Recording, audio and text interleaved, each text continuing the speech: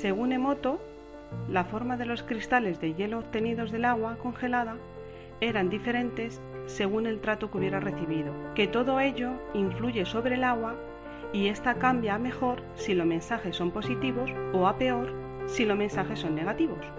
Cuando volvimos de viaje, lo primero que fueron a buscar, sus botes de arroz. Los sacaron y se quedaron, bueno, nos quedamos todos con la boca abierta. El bote con las palabras positivas estaba normal y el bote con las palabras negativas estaba completamente lleno de moho. Y os prometo que esto es verdad.